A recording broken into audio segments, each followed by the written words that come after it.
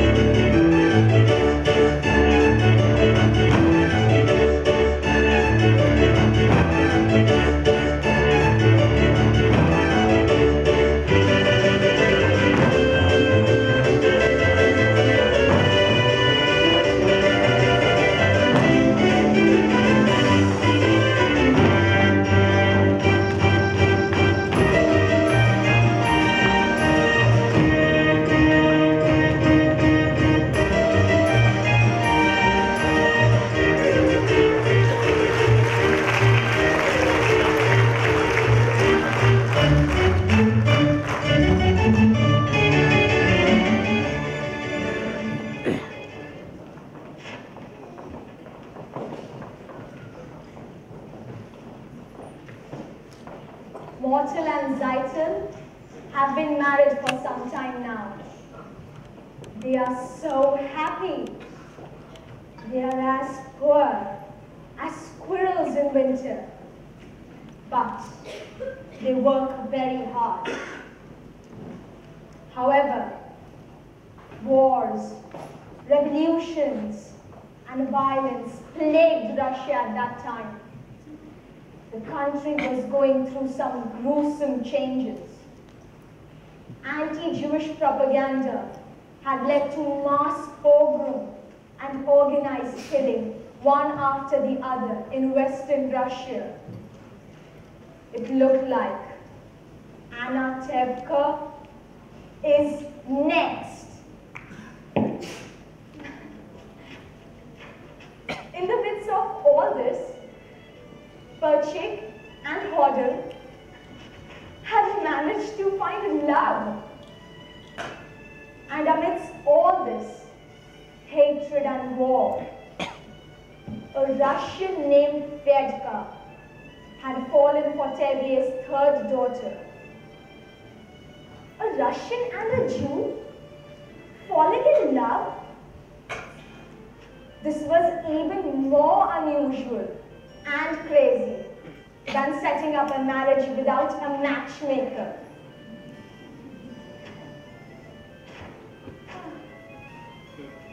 Well, let's see what happens now.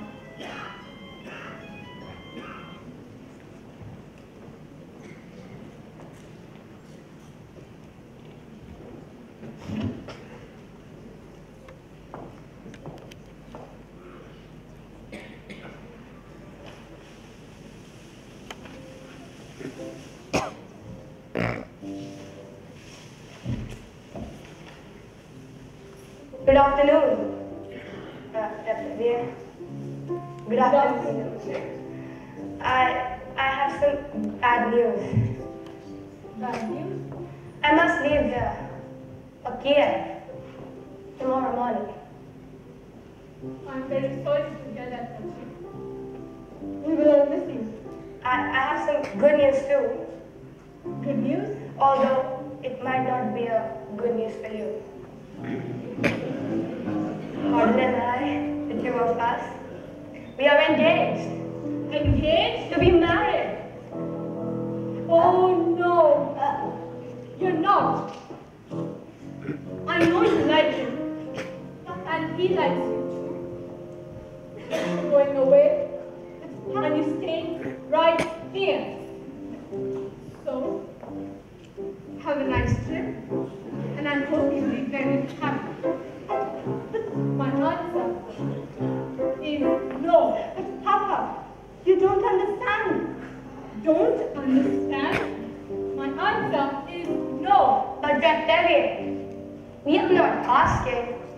For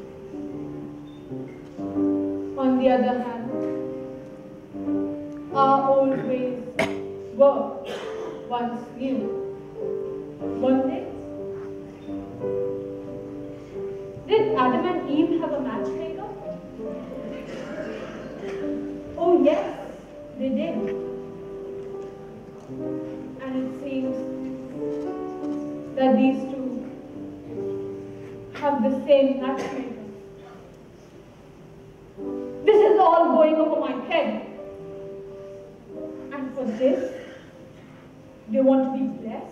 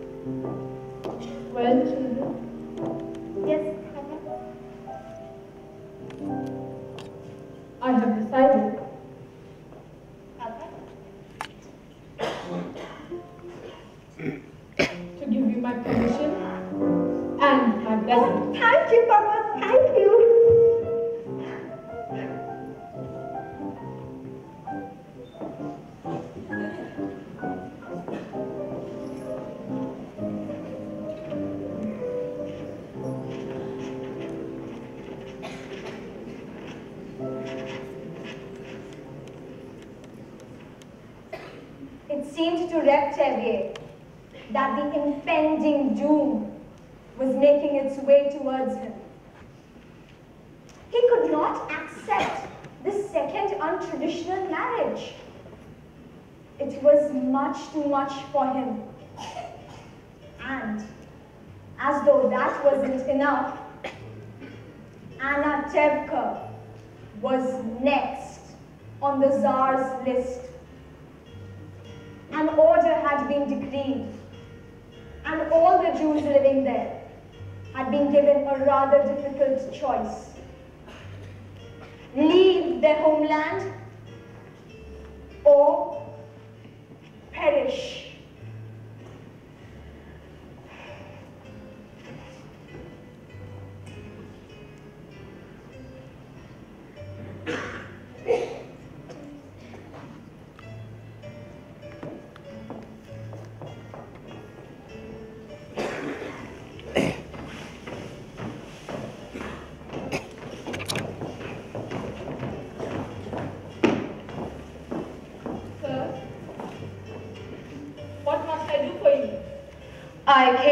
Tell you, you have to leave Anatevka. Not just you, of course all of you. Why should I sell my house? Is it in anybody's way? I don't know why. There's trouble in the world.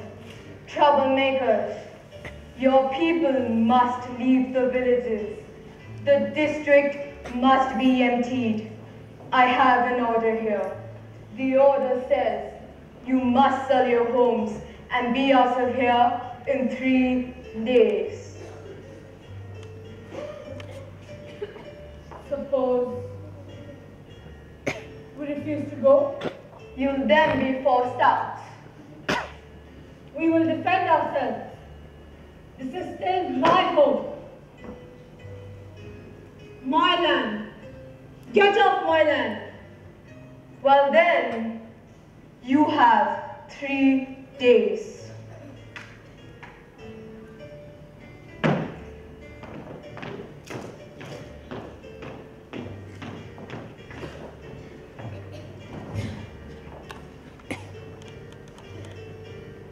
After a lifetime.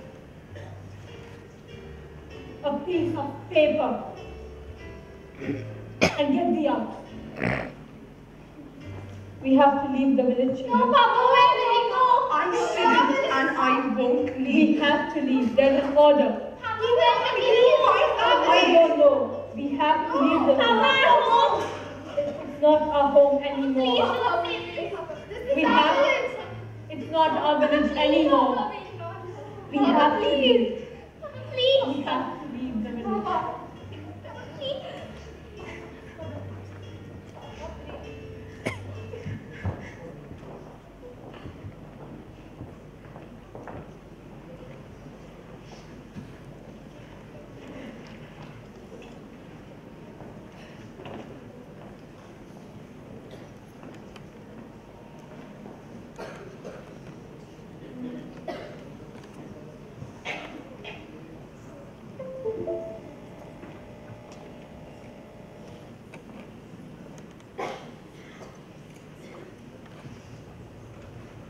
The village is desolated.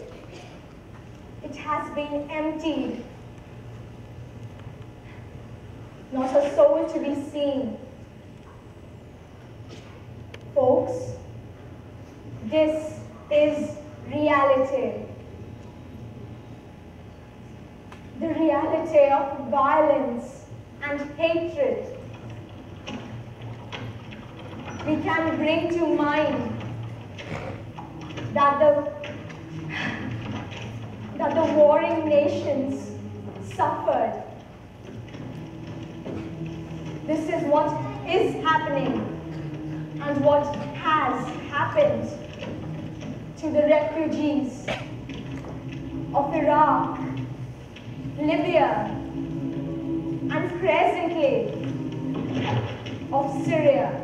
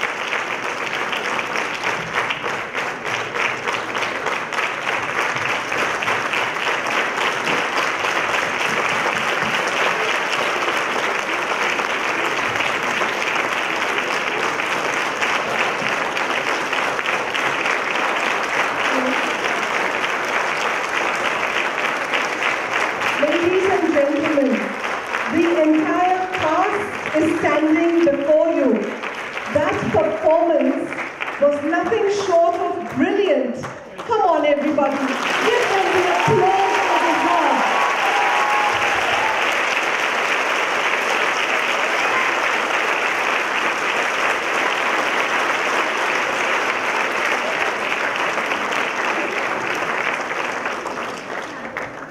Well done, children.